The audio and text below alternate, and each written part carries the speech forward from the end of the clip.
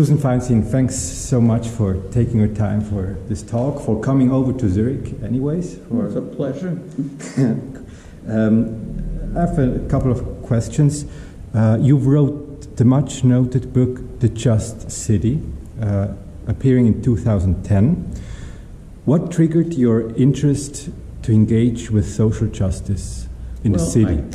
I, I have always, since I was an undergraduate, been concerned with issues of social justice, but it more crystallized in my mind at a um, conference in 19, I think it was 1993, um, which was in celebration of the anniversary of the publication of David Harvey's book, uh, Social Justice in the City. I wrote a paper for that conference and then I kept thinking about how could we frame the question of social justice for people who actually were policymakers in the city. Uh, what would they do and what criteria should they use uh, in order to decide what were policies that made a more just city? Uh, so I spent a lot of time after that uh, reading philosophy uh, I had studied uh, political science as an undergraduate and as a graduate student and had read political theory, but I hadn't read um, what was called philosophy per se uh, in terms of theories of justice. Uh, I then actually took a course by being taught by an eminent German philosopher who was teaching as a visiting professor in New York uh, that year in theories of justice, and I studied uh, some of the classic works and some of the more recent ones uh, in order to first formulate a theory of what would be called urban justice and then to look at particular cases of urban development in relationship to uh, this theory of urban justice, and then finally to list policies at the city level uh, that would further justice in the city. When you think of the just city, how would you describe it? How, how is it to live in a just city? How does it feel? Uh, well, I'm not sure anybody lives in a just city, uh, but there are certainly cities more just than others. And much of the reason why I studied uh, cities in comparison with each other uh, was to try to figure out which cities were more just. Uh, I spent considerable time in Amsterdam, uh, which um, one of my students uh, had suggested was perhaps the most just city in Europe. Uh, so while living there, I thought it, I thought it was certainly uh, more just than any of the American cities I had experienced, and maybe along with Vienna and Stockholm, uh, the most just city in Europe. Uh, so I, you know, I looked at particularly policies around housing and transportation uh, and the tolerance of groups that were different uh, in order to evaluate these cities uh, and to uh, then try to figure out which policies they had that produced greater justice. Uh, your, your work has been criticized or described as utopian thinking. Uh, are your ideas relevant for planning practice? Well, I don't think that uh, they are utopian. Uh, rather, I think that they um, simply are devoted to saying this would make things better, uh, and that there's always a better and a worse. Uh, the three principles I had were democracy, diversity, or uh, philosophers would use the term recognition, uh, and equity.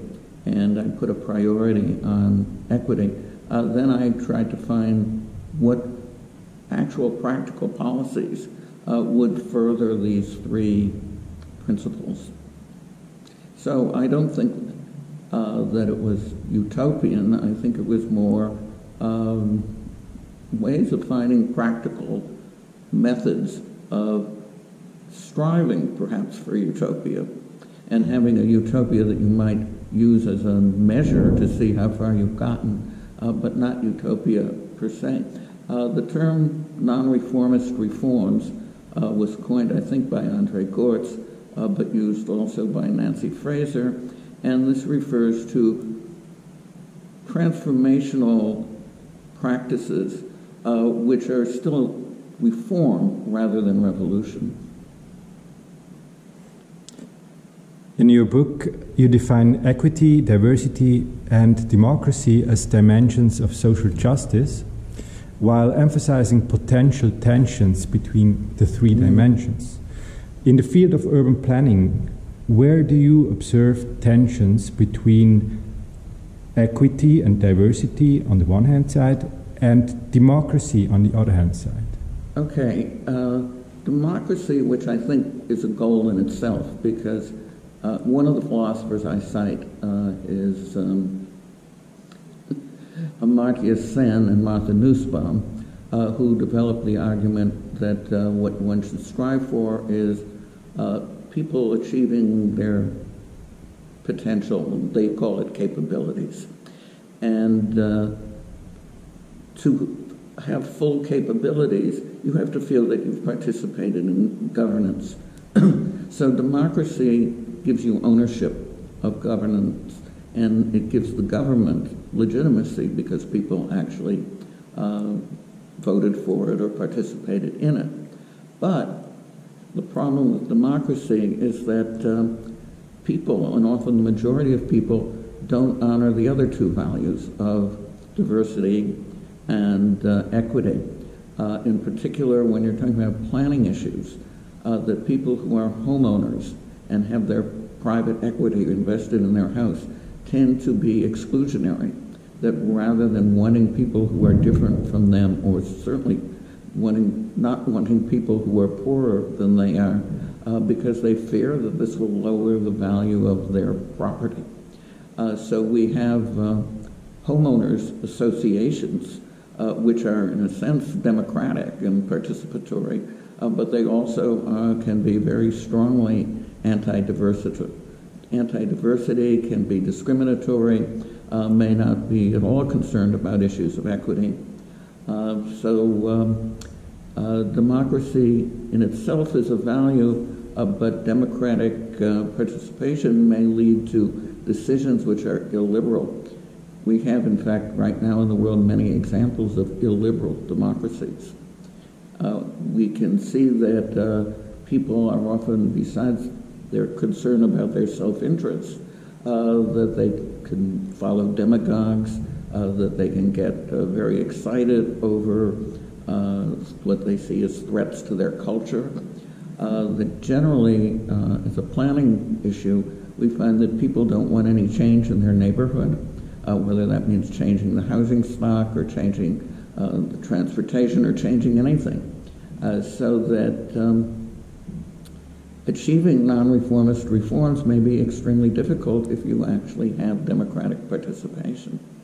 Uh, there tends to be, and especially the case among my students, who were studying to be planners, a kind of reflexive view that what they should do is just, quote, let the people decide, have participation, and then the people will come up with uh, the appropriate policies. Uh, but um, the people often don't come up with policies that achieve greater equity or achieve greater diversity. So I see these the relationship between these principles as being problematic and also context dependent, uh, so that there are some places that really require much greater democracy, but other places where suppressing democracy and having progressive leadership would be a lot better. So it depends. Okay. In your book, you regard homogeneous neighborhoods as compatible with social justice dimensions as long as the boundaries remain porous. Mm-hmm. Yet research on neighborhood effects um, shows that concentrations of disadvantaged people lead to additional additional disadvantage on top on, of individual disadvantage. Uh, in schools, professional careers, dependency on social care, violence, and so on, uh, leading to persisting structural disadvantage at the uh, of the same population groups. Shouldn't spatial planning and housing policies proactively work against existing levels of segregation? Well, certainly if segregation is based on discrimination, saying that people are going to be there in the ghettos because we're not going to let them move anywhere else, then I, that would be very contrary to the principle of diversity. But, and then it depends on the particular group of disadvantaged people and the context in which they're located. Uh, so, for example, the United States has been very good, I think much better than European countries at absorbing immigrants. That there's always very big prejudice against the newest arriving group, but that eventually these groups become absorbed into the general population. Uh, so right now we hear a great deal in the United States about um, people of color, and that includes African Americans and uh, Latinos. And I would argue the situations of these two groups are quite different, and that for Latinos, when they first come, living with others who speak their language uh, and provide the, the, kinds of foods they like and provide jobs for them uh, in ethnic businesses uh, can be greatly to their advantage. And what you see in ethnic neighborhoods are a lot of small businesses uh, that can only thrive if there is, in fact, a um, uh, confluence of congregation of these kinds of people. Uh, if you look at the history of Italians going into America, uh, Italians were completely despised initially. Uh, but Italians are now simply part of the American public, and nobody thinks anything particularly negative about them, and they've all lost their language actually. Uh, but it took a couple of generations. So I think, for one thing, it depends on the recency of immigration. Uh, another, I guess, depends on the willingness of the group to uh, assimilate. Uh, Asians in the United States have the highest median income of any identifiable group, higher than whites. And uh, some of it is because people come who already have professional status, but the other is that uh, within Chinatowns, particularly, there's a good deal of social capital gathered, uh, which people can take advantage of. Now, when you're talking about in the United States, ghettos of African Americans who are descended from slaves, or if you're talking in Britain actually about Pakistanis who seem to get, have lower status in Britain than do, uh, say, black Caribbeans, that these groups are often ghettoized simply because they're discriminated against. And uh, at the same time, they don't uh, necessarily have advantages. Now, I know one of the points that you've raised before is about schools, and it's a huge issue of school segregation. But what actually happens when you have integration of schools is that one of the things that happens if parents who are the main, uh, the dominant class, feel that their children are getting worse education because of exposure to people who come from much less educated backgrounds, they will pull their children out of their school, those schools. They will move, or they will put them in private schools, or they will do something to avoid it. And that um, there's no no real evidence that coming into contact with others who are different actually makes people more tolerant of them. It depends on how the contact works. Uh, so um, when my children started school, uh, which was in a working class area, a couple of the kids in the school basically shook them down for their lunch money. Uh, so uh, that was not a good situation, and it didn't lead to people feeling better about these others in the school. Uh, that kids who grew up in communities where there is criminality don't leave that behind necessarily because they leave that community. And this isn't tied to particular groups, it's rather tied to having a background of, um, of family life that's non supportive of education, of um, insecurity, of a lot of of having uh, role models who uh, make their uh, money from uh, uh, unapproved practices, but that simply putting people together without providing a framework in which those people who are disadvantaged are not still economically disadvantaged uh, is not going to solve any of their problems nor necessarily make them uh, do better in school.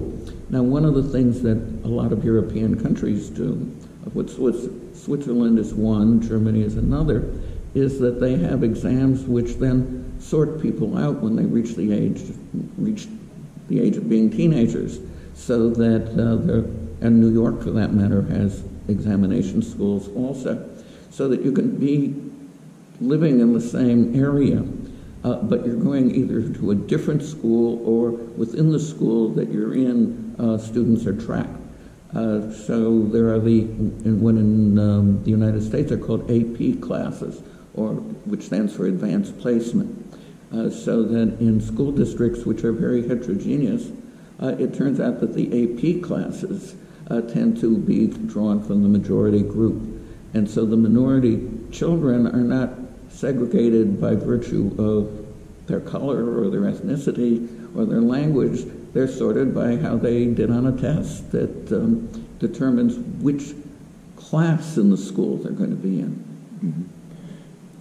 Mm-hmm. Um, I think in, in, in, New York, in the school district, uh, there have been like over decades efforts by even by white parents to have more mixed schools, so bottom up mm-hmm. initiatives. Mm-hmm uh, which in the end never succeeded. But there's a new, um, like a new movement for more equitable schools. I think people are more aware. They say they, they hear about segregation um, and and now they start thinking about do they want to be part of the segregation process so not taking kind of in, individual steps to counter segregation, but try to organize and find systematic solutions at a district level, for example? Well, I wrote my doctoral dissertation in the late 1960s, at which time progressive parents, white parents, were calling for desegregation of the schools and for community control and for parents participating. Uh, precipitated a citywide school strike by teachers. Uh, eventually, they set up a sort of district system uh, schools, uh, but it then sort of all devolved back to being the same thing as was. Right now, uh, there's big controversy in Brooklyn over desegregation or redrawing the school districts. And there are those who support it, and there are those who vehemently oppose it. Uh, and this is the case uh, in Montgomery County, uh, uh Maryland. Uh, likewise, uh, there, I in fact have co-authored a paper with a fellow who's the planner in charge of redrawing the districts there. And there is enormous opposition to it as well as support for it. And that there's certainly no consensus mm-hmm. that, that comes out of it. Okay, coming coming back to the topic of housing, uh, you recently did research on the strongly regulated housing system in Singapore. Mm. Uh, while quotas for ethnic groups are intended for uh, in order to strengthen social integration, you found that such regulation also suppressed private initiative and led to the isolation of minorities. Uh, can you explain this? Well, not to the bit? isolation of minorities. Um, Singapore has something called the ethnic integration policy, and all public housing buildings uh, have to have uh, residents in proportion to their proportion of the population. And 80% of citizens of Singapore live in public housing. So uh, you can live in it up to a very high income and you don't have to leave if your income goes over the, whatever the limit is, which is very high. So almost everybody in Singapore lives in what they call HDB, which stands for Housing Development Board housing. Uh, so, uh, and in terms of schools, uh, they are in school in the same proportion as they are in the general population, which is 72% Chinese, 17% uh, Malay, and 7% Indian. And so every school breaks down like this pretty much. And every housing block breaks down like this. And so there certainly isn't isolation. Uh, but there's isolation in the sense that the adults in the different groups don't socialize with each other much. But the kids do go to school and they socialize on the playground, and parents may even socialize on the playground. Uh, Singapore has vast amounts of green space. Uh, it's very committed to um, uh, ecology. Uh, it's uh, an extremely well planned place, and it maximizes diversity in the sense of requiring it. So uh, it doesn't have isolation. It maximizes diversity. It, it's difficult to say whether it provides equity, uh, in that if you look at the Gini coefficient, that is the measure of income inequality, there's quite high income inequality. But so much is provided by the public sector and is out of the market that there's nobody who's destitute in Singapore. Uh, if you're very poor, you get, um, well, the housing system's complicated, but if you're very poor, you get very cheap rental housing. But for most, and that's about 5% of the population, but everybody else actually owns their unit within public housing. So it's condominiumized public housing. Almost all the land in Singapore is owned by the government, so there's no market in land. And because there's no market in land, there's no price of land that gets built into the price of housing. Uh, there are locations that are more desirable than others, but aside from that, it doesn't have a phenomenon that you might call gentrification. Uh, it doesn't have slums, period. There are no slums. Mm-hmm. Uh, it's from many perspectives, it's a wonderful place. Democracy is virtually non existent. Okay. And so I would say that what Singapore needs is more democracy and people having more of a feeling that they're part of the government or the governance of the place rather than being so totally passive uh, as they are. What do you think of the French approach to tackling segregation? Municipalities with more than 3,500 inhabitants are to reach a minimum of 25% social housing. Uh, the metropolitan government of Lyon has recently introduced social mixing zones in more than half of its municipalities. Well, the French refuse to recognize difference and I guess there's also a question which is often raised uh, in countries that have had a large amount of uh, Muslim uh, immigrants. well, these are cultural groups that suppress women and keep them in the house and won't let them be educated and so forth. And so it's up to the government to change that. And that's very much an attitude that exists in France. Um, I don't know, because forcing people to give up their culture, even though I'm totally opposed to Islamic uh, rules about women. Uh, but I don't know that you can force people to give up their culture without a huge cost uh, in terms of the legitimacy of the government.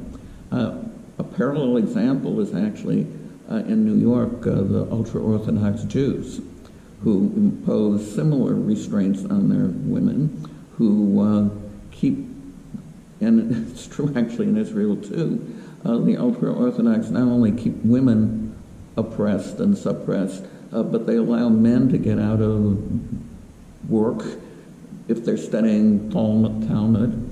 And so, um, and in Israel, they get out of the military. And so, when you have cultures that are that strong and that restrictive, uh, it's hard to say what the government should do, but it would certainly be better if reformers within them attempted reform rather than it being from the top down. And this is why France, when it says you know girls can't wear headscarves, uh, that this just produces resistance rather than uh, going along with it. Um, if you have social mix, but the people have contempt for each other, then social mix isn't going to do much. Mm-hmm. The city of Zurich aims to raise its share of non-profit housing from 25 to 33 percentage by 2050, and the city also aims for mixed neighborhoods. Since non-profit housing estates often strive for inhabitants to represent a wide income range, they do not only contribute to social mixing within their estates, but often also in relation to their neighborhood. How would you judge such a system where housing associations would strive to make better use of their mixing potential within the limits of what seems acceptable to their residents? I think that's wonderful if they can do it by all means. I see there's a big difference between voluntary social mixing and involuntary social mixing. Uh, and if you're producing new housing that people want to be in, you're going to get voluntary social mixing because everybody's going to want to be in it. Mm. Uh, it's when you say, oh, well, uh, this is a ghetto which needs to be broken up, so we'll just displace the people in it whether they want to go or not, uh, that you have a problem. Mm-hmm. And uh, so democracy may mean participation in government, but democracy also really means giving people choices rather than saying, well, for the greater good, you'd better do this. Your talk today was exploring the role of right wing populism working against planning of just cities. In our case studies, we feel that just city planning is hindered by diffuse fears of social mixing in the majoritarian society and parts of the administrations, even in cities governed by the left. Would you qualify this as some kind of populism as well? Uh, well, yes, and uh, I talk about um, I've talked about in my lecture uh, that uh, in communities like the one in which I live in Connecticut, uh, which is a town, it's only thirty thousand people, but in terms of income, it's very diverse. It has everything from really low income people who get welfare uh, and live in mobile homes to people who have mansions that are worth three, four, five million dollars.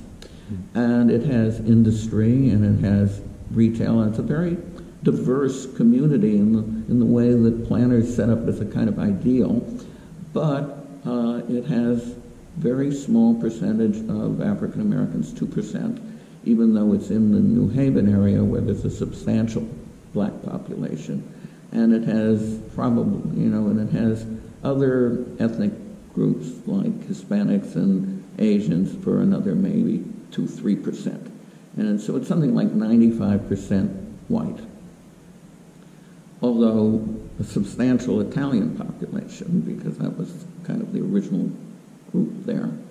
Uh, but uh, when there was an attempt to enlarge, it has public housing, but the public housing is had been restricted to senior citizens and disabled.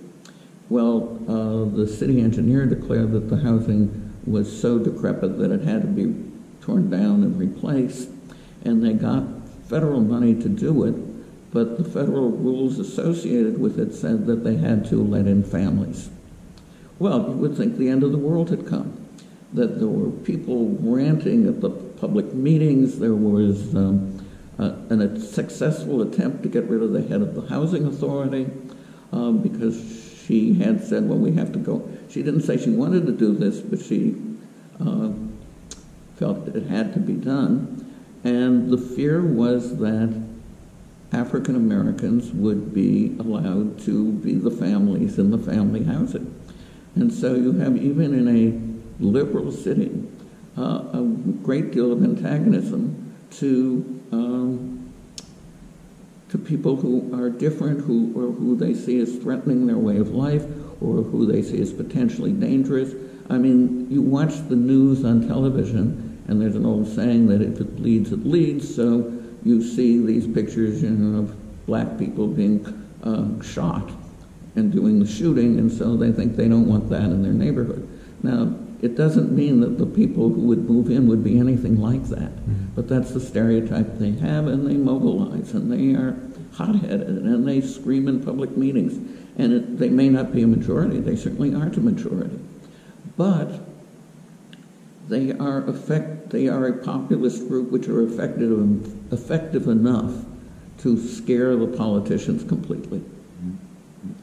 So, against this background of national populism and maybe populism bottom up mm-hmm. uh, resistance to just city policies, do you nonetheless see any signs of hope for more socially oriented urban planning in the future? Yes. Well, for one thing, I think that people who become planners tend to be progressive.